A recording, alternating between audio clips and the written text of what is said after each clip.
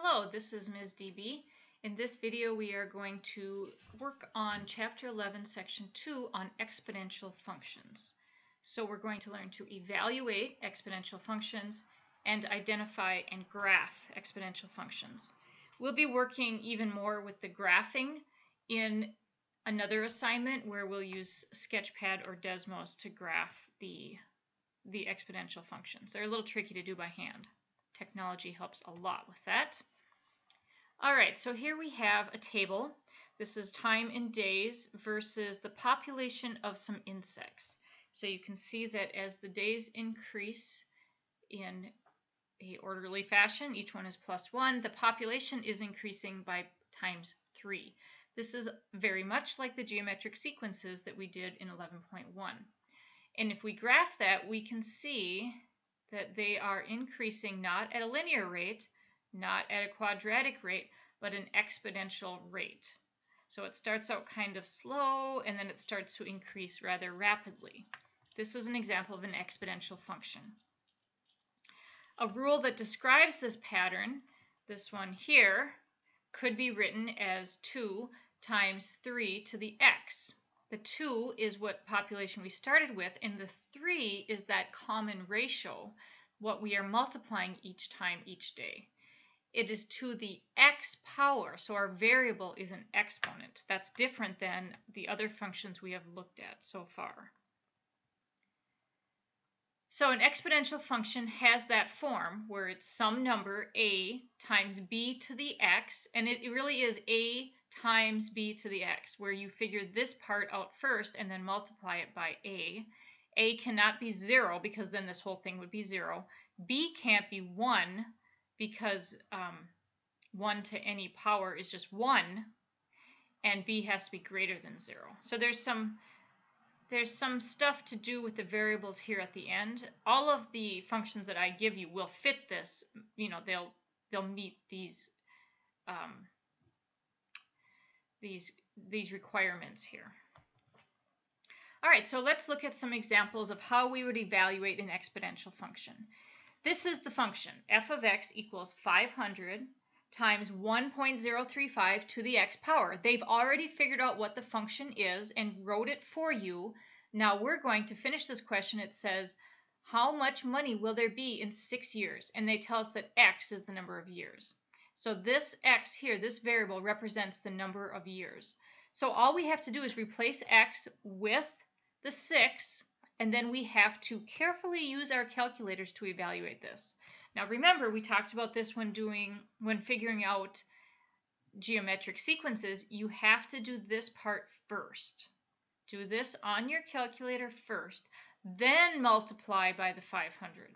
So the first thing you do is the exponents because please excuse my dear Aunt Sally, the order of operations tells us that you have to do the exponents, which is right here, that's the e, before you do multiply, which is right here. So exponents happens before you multiply. So if you get your calculator out and type in 1.035 and then figure out where your exponent button is, you go to the sixth power, you should get 1.229255326. Now it's a really long number. Don't round that number. Leave it on your calculator. You don't even have to write it down. Then multiply that by 500. So leave it on your calculator and I get 614.627. Now their number is slightly different. They rounded to the nearest hundredth, but they rounded after they figured out. So if you had rounded that 1.229255, if you had rounded that to like 1.2, 1.2, and then multiplied that times 500, it changes your overall answer to exactly 600. It changes it by more than 14 difference, and it would be wrong. It's too low. I mean, $14 is $14. You don't want to lose that money. So don't round these. Leave the calculation on your calculator and then continue with the rest of what you have to multiply by. This is just another example. Again, they're giving us the function. This time it's about the population of a city. X represents the years and they want to know if we replace x with 7 years, what would the population be after 7 years?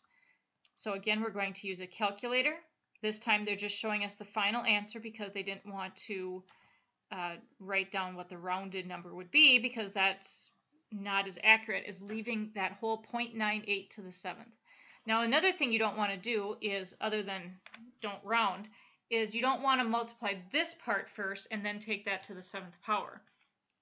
If you had written 200,000 times 0.98, that is 196,000. And then you raise that to the seventh power, you get a huge, enormous number. Like the population would be in the bazillions. So that's not how you do it. You make sure that you, I have to erase this now. Whoops, that's not how you erase. You make sure that you take the the 0.98 to the seventh power first. That's the part that has to be done first. And then you multiply by your starting value. So this amount, this part here is the first calculation you do. Then you multiply by 200,000. All right, so these are the problems from your worksheet. Four, five, that we'll get to one through three in a minute. This worksheet doesn't go exactly in order as our lesson does here, but when you get to 4, 5, and 11 is very much like this. These are, the functions are given to you, and then later on they say solve this, evaluate this when x equals, and then they'll give you a number. So here they're giving you to use 12 for x. Um, in number 11, they want us to use 6 for the number of the bounce. So let's see, let's look at number 5. Number 5 kind of is nice because it kind of shows how they wrote this equation. So it says a population of pigs, pigs is expected to increase at a rate of 4% each year. If the original population is 1,000, here's the function. You can see where these parts of this function came from. The 1,000 is the starting value. The, there's the 0.04. If you took 4% and changed it to a decimal, it's 0.04, and they added 1 to that. And this is an example of an equation, a function for exponential growth. And then it's to the x power. And you'll do more with this, especially in Algebra 2, with exponential growth. So here's the function, f of x equals 1,000 times 1.04 to the x power, but we want to know what will it be after 12 years. So you replace the x with 12. Then we do this part of the equation next f of x is just writing this in function notation. This could have also said y equals. Either one is fine. And so then you get your calculator out and you type in 1.04 to the 12th power. And it's not a huge number because it's 1.04. So if you round it, you're going to lose a lot of the information that you need. You're going to lose a lot of those numbers. Let me show you on, this is the Computer calculator is not exactly the same as my handheld, but it's it's good enough. And every computer has a calculator. If you want, also, Desmos has a scientific calculator that's online. Just go to desmos.com, and instead of going to graphing calculator, go to scientific calculator, or Sketchpad has a calculator as well under the number menu. Let me show you that one. It's actually a better calculator than this computer one I have. So right here under number, there's a calculator. So I was supposed to take, now I can't see the, I'm supposed to take 1.04 to the 12th power. So 1.04. On this calculator, it's x to the y to use the exponent. And then to the 12th power. And all of those digits are important. I don't want to just round to 1.6. So I just leave all of that on the calculator. I don't have to write it down. I'm now I'm going to multiply that by a 1,000.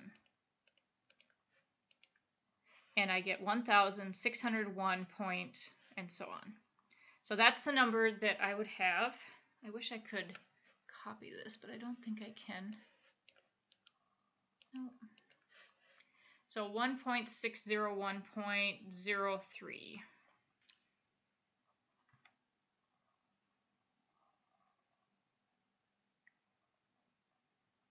And there's some more digits after that that you can include if you wanted to.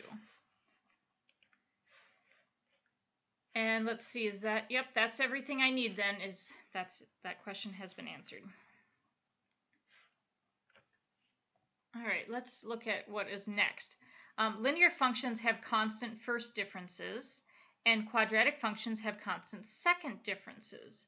Exponential functions do not have constant differences, but they do have constant ratios. So if you're given some data, if you're given some points, you can write them in a table format, and then you can check. The first thing you want to check is are the x values increasing at a constant rate? They do need to be increasing at a constant rate for this to work. These are, so then I'm going to move over to the, the y values, the answers here. Now the first difference is this would be plus 12, 54 minus 18 is 36, so this is plus 36 and 162 minus 54. These are the first differences, is 108. So clearly the first differences are not constant. If it was constant, then you'd say it was linear. And then your second differences is you figure out what is the difference of the differences. So from 12 to 36, or 36 minus 12, that's plus 24. And from 36 to 108 is not going to be 24, it's plus 72. So the first differences are not constant. The second differences are not constant. However, as we saw with geometric sequences, if you divide the terms that are right next to each other, then you get a constant ratio. So 162 divided by 54 is 3. 54 divided by 18 is 3. 18 divided by 6 is 3. So these are all constant. That means that it's an exponential function. That tells you that you have an exponential function. So you can check that with problems and you can see if it's an exponential function, then you're able to use this, this model of this function. It, it should work. R is going to be the constant ratio and it's what B is. So R would be right there, just like when you did the geometric sequences in the last lesson. A is the first term. All right, so in order to tell whether or not it's exponential, it helps a lot if you put it in a table. So you can go ahead and find the first differences, second differences, third differences if you want. But since we're in a chapter on exponential differences and the question is going to say, is this exponential or not, you can just go right to finding the ratio between the consecutive terms. So 108 divided by 36, 36 divided by 12, 12 divided by 4, and you'll find that the common ratio is 3. Since the common since there is a common ratio, then you would say that yes, this is exponential. And again, put them in a table first, and then again, if you want, you can practice finding the first and second differences. Or you can just go right ahead to finding the common ratio between the consecutive terms. Now, the first thing you should check is, are the x values increasing by the same amount? and in this case they're all plus 1. So then we can go ahead and use the common ratios method. So you would take 128 divided by 64.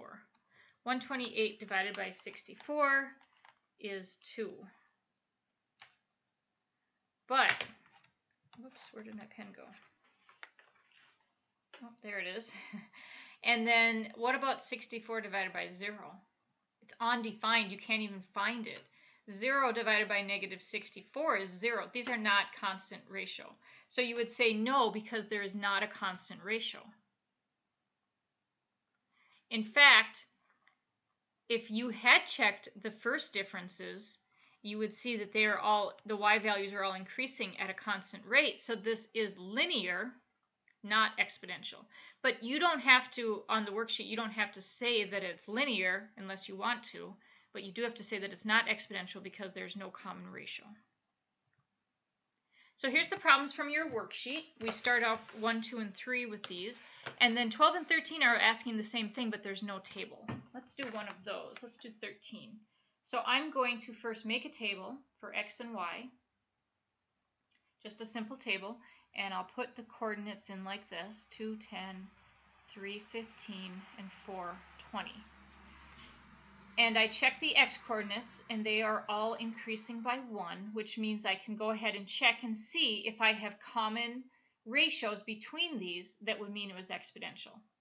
Now, I'm already looking at this going, eh, I think this is going to be linear because from 5 to 10 is 5, from 10 to 15 is 5, from 15 to 20.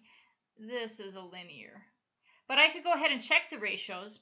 I would take 20 divided by 15 and 15 divided by 10 and 10 divided by 5. In order for this to be exponential, all of these numbers would have to be the same, and I know they're not going to be the same because two of them already are not.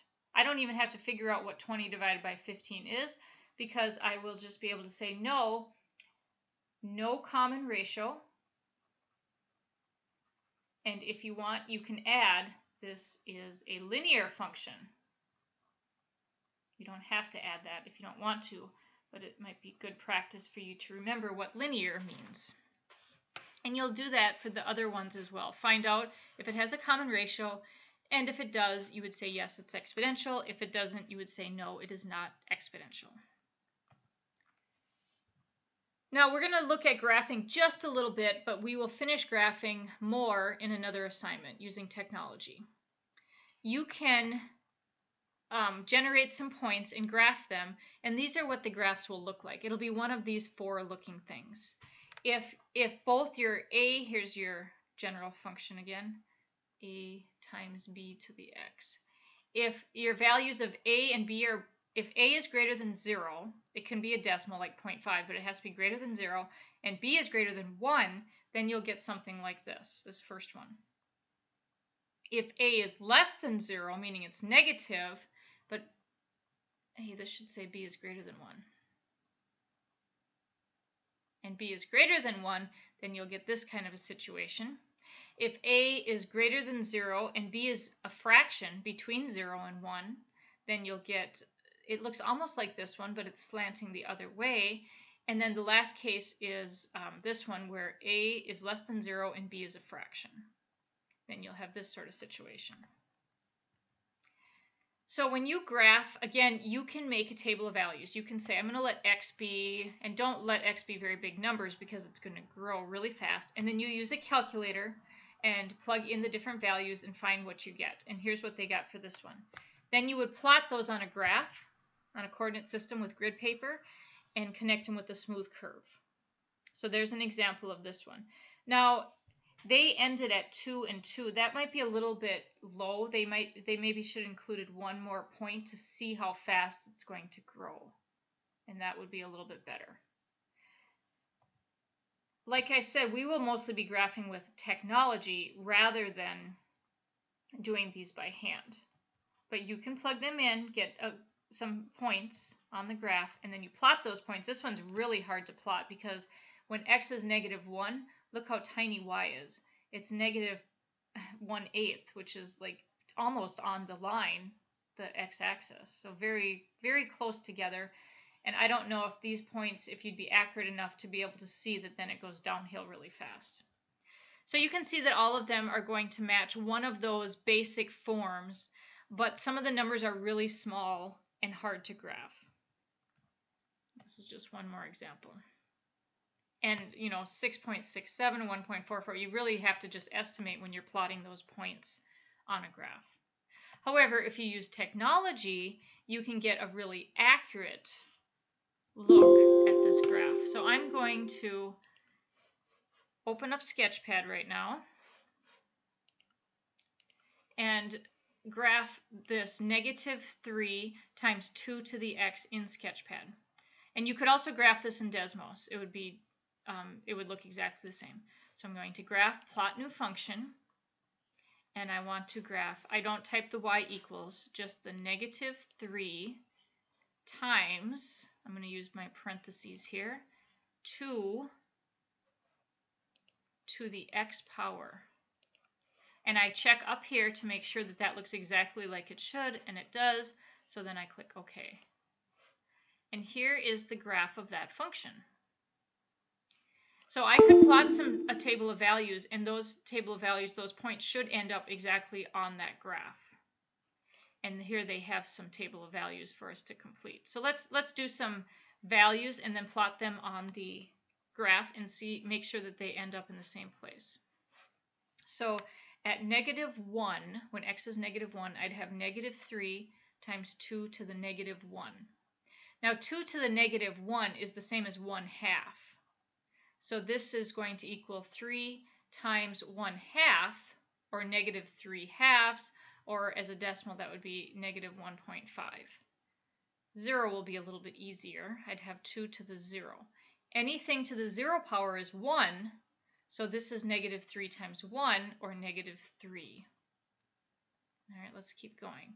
Negative 3 times 2 to the 1, that'd be negative 3 times 2, because 2 to the 1 power is just 2, or negative 6. At 2, I'd have 2 to the second power, so I'd have negative 3 times 2 squared is 4, and that's negative 12.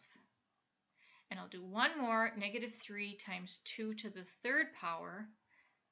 2 to the third power means 2 times 2 times 2, which is not 6, it's 8. And negative 3 times 8 is negative 24. Let's plot these points on the same graph in Sketchpad and make sure that they will end up in the right place on the graph. They should be right on the line. I might not be able to see the 3, negative 24 one unless I zoom way out though. I'm going to go to plot points. And my first one is negative 1. And that the y value of that is negative 1.5. And the next one is 0 and negative 3. And then I have 1 and negative 6. Oops, negative 6. 2 and negative 12. And the last point I need to put on here is 3 and negative 24. And again, you can plot these in Desmos by using a table.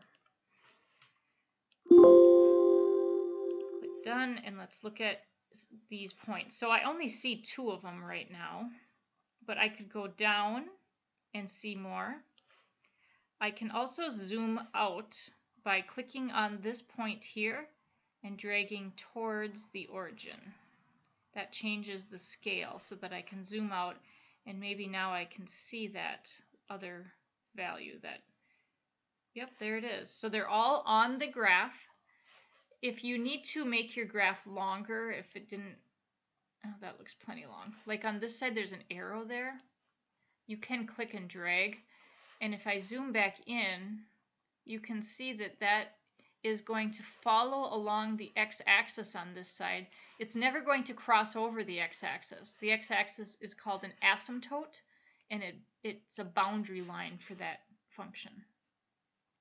So then for the problem on your worksheet, you can take a, a picture of that, or you could attach it, um, attach the Sketchpad file, or in Desmos, there's a way to share your graph by sharing a link.